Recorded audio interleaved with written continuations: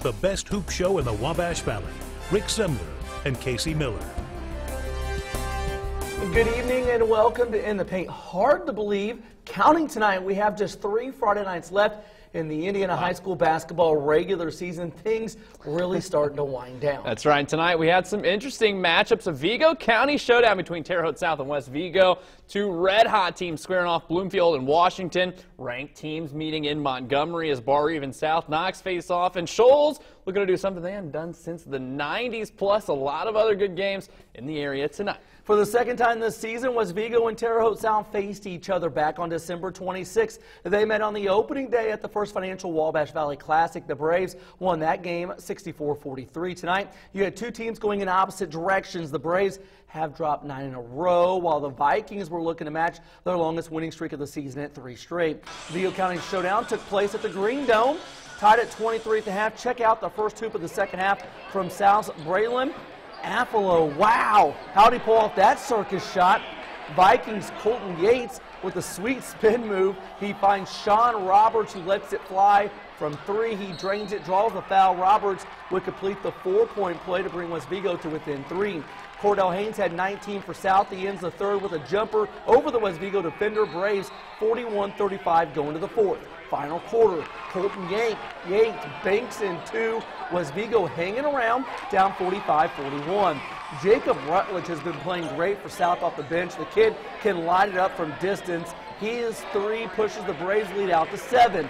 Less than two to go. West Vigo down five. Zion Stevens gets the steal. No one stops him. He takes it the other way, drills the jumper.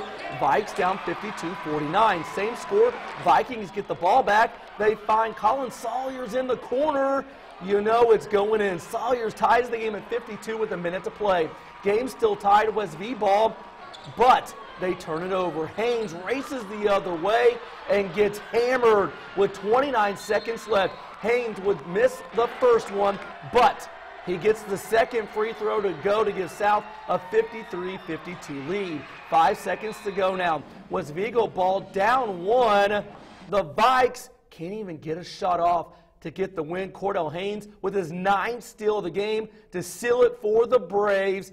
Haynes played incredible defense. That bucket counted, by the way, at the buzzer. Terre Haute South wins 55-52. Braves snap a nine-game losing streak, and they beat West Vigo for the 11th consecutive time. Terre Haute North had a Conference in the Indiana road game at Bloomington North. I'll tell you what, can't leave Michael Dunnigan open, he'll do that. He's the splash brother of the Wabash Valley. Cayman Hayes wears number 11 for Terre Haute North. He had 11 tonight for the Patriots. His soft touch goes in. These two teams just went back and forth at each other. Chris Thomas from distance, good for Bloomington North. Fourth quarter, Brayton Eddington, great pass inside to Dalton Sturm for a Patriots hoop. Patriots down one, just over a minute to go.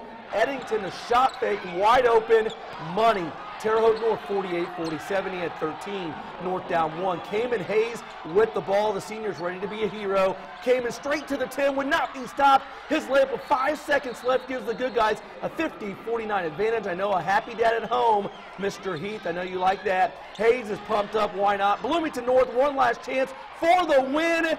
Good defense by Terre Haute North. And they hold on to win a thriller. Patriots take this one. Love to see the celebration there by the Patriots. 50 to 49, thanks to Cayman Hayes, game winner.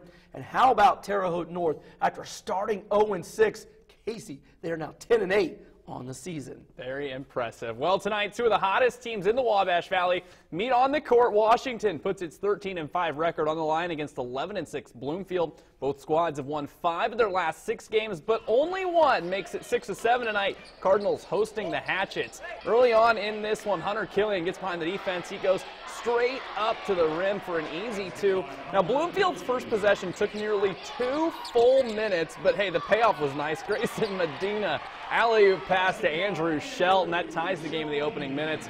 Hatchets respond though. Tyson Wright pushes it up to Grant Niehaus. He lays it in at the rack as Washington gets back out in front. But coming back at you here, Shelton over to Turner Royal. He fools everybody, including my camera work on the pass fake there. He rattles in the three. Bloomfield going to keep the hot streak going as the Cardinals down the hatchets 57-46. Bloomfield hitting their stride late in the season now 12 and 6 on the year. Meanwhile, North Central coach Vance Edmondson faces his old team for the first time tonight as the T-Birds visit Clay City. Opening moments of the second half, North Central's James Roberts turns into the lane, floats it up for two. That put the T-Birds up by 15 points in the third.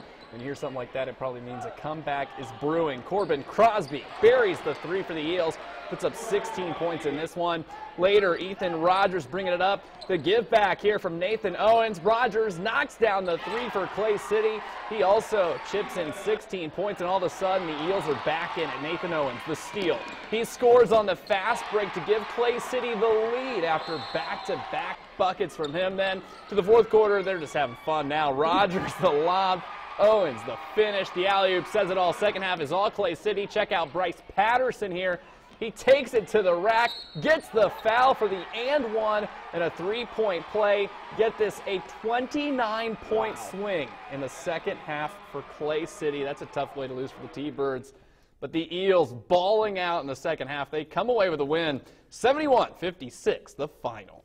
Still to come, North Vermilion, Parke Heritage, and RP all in action. We head up north after the break. Plus, we have all the highlights from the big ranked showdown between Barr Reeve and South Knox. In the paint, we'll be right back.